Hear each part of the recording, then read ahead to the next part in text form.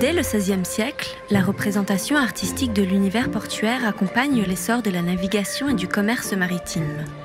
Au XIXe siècle, lors de la période romantique, la peinture de marine rejoint le courant dominant de l'art et les paysages portuaires deviennent sujets de fascination pour les impressionnistes, comme les tableaux de Claude Monet en témoignent. Aujourd'hui, cet univers portuaire s'est transformé.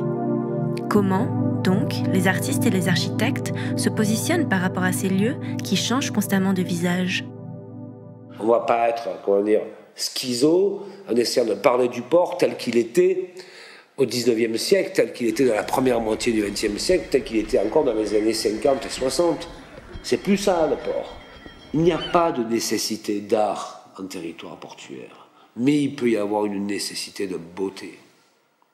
Parce que nous sommes, nous, confrontés à l'exil de la beauté.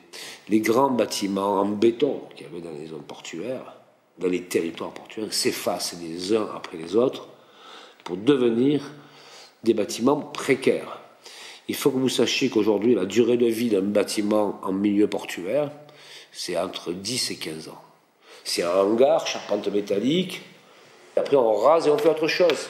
Parce que le cycle de renouvellement de l'activité portuaire est de plus en plus rapide.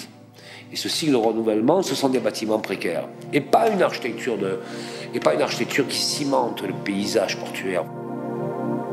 In the port house of Antwerp, the historic part of it, the old part of it, was built by the same architect in the 16th century as the one who built the city hall. Our predecessors, after that historic building burned down, not a city hall, but a warehouse of the 16th century, they rebuilt it 100 years ago.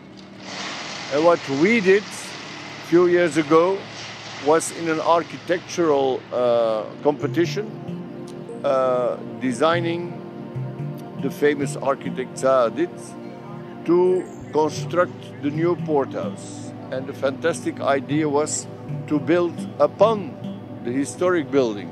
And that gives us the chance to speak also to our citizens about the fantastic history of the port of Antwerp and of course the let's hope bright future of the port of Antwerp. What is interesting is to compare between aesthetic comments on the port. So you will see round windows, or you see, like in the Chile House in Hamburg, uh, a building that has a tip like the prow of a ship. So that's very literal relations to the port. On the other hand, today you see quite a bit of container architecture.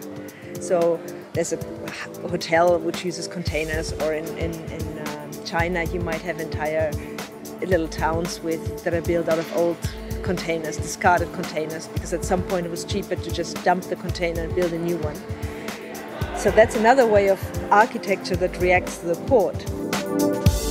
En el siglo XVI se construye el arsenal que vemos ahora y es una época donde las flotas de galeras eran enormes y donde cada corona, la corona francesa, la corona hispánica, los turcos, todo el mundo tenía sus flotas de galeras y entonces un edificio como este, una gran fábrica de barcos, era imprescindible para mantener el poder de la corona. En 1936, justo cuando empieza la guerra civil en, Barcelona, en España, eh, las autoridades ocupan el edificio para destinarlo a museo marítimo. Entonces, cuando se piensa que un arsenal de galeras eh, es un edificio que es perfecto para hacer un museo marítimo. Es un elemento de la ciudad que recuerda la historia marítima de la ciudad, pero que además dentro tiene un museo que explica esa misma historia. El museo eh, funciona como un centro cultural, un centro de cultura marítima, no solo para Barcelona y Cataluña, sino para toda España.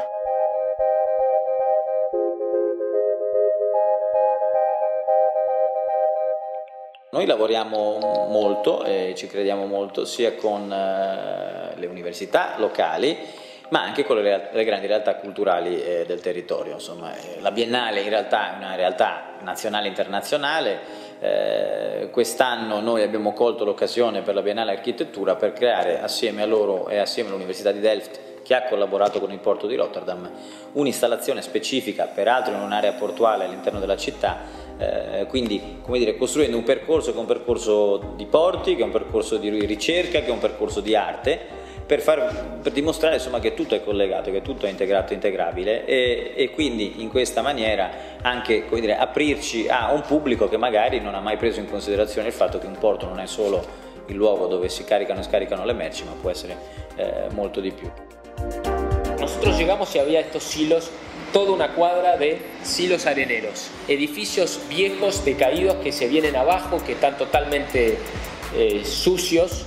Es una zona industrial, pero está una zona frente a una costa de un río muy bonito. Entonces, ¿qué es el proyecto que, que, se empezó a hacer? Es puesta en valor de eso a través de murales, pero no queremos graffiti, queremos un mural controlado. Entonces, ¿qué es lo que se, se está haciendo? Un mural a través de un muralista que se llama Bernardo Escurra, que interpretó toda la historia que ocurrió en ese lugar a través de los murales.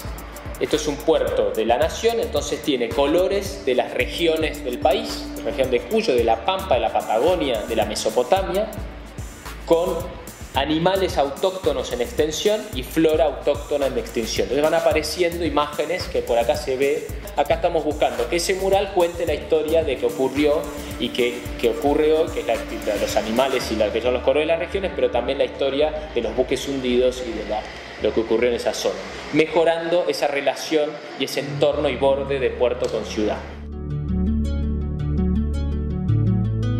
Estamos trabajando en la iluminación de estas dos torres del edificio de la Central Puerto, que es una generadora de, energía eléctrica, porque entendemos a la luz como una puente y conexión entre puerto y la ciudad. Entendemos que es muy importante darle carácter y eh, identificarlo de una manera mucho mejor, tanto de día como de noche, de, de estas torres. Así que esto es lo que vamos a estar iluminando, que es como una catedral paladiana. O sea, el edificio en sí es realmente eh, imponente y queremos mostrarlo en la ciudad. Le manque d'espace et le changement climatique incitent à repenser l'architecture et l'habitat de la ville portuaire et à développer de nouveaux projets. Réinventer, euh, ce sont des appels à projets qui sont assez entre guillemets mode. Hein. On voit bien réinventer Paris. Il y a beaucoup de collectivités qui lancent euh, leur réinventer. Euh, on peut dire que la spécificité de réinventer la Seine et ses canaux, c'était d'avoir un rapport à l'eau.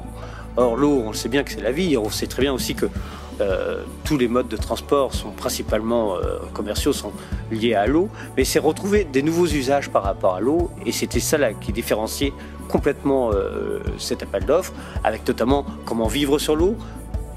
Yet another way, and I think that speaks to this idea of ocean urbanization, would be to think about and to predict a swimming architecture. And in some ways, I think we're almost already getting there.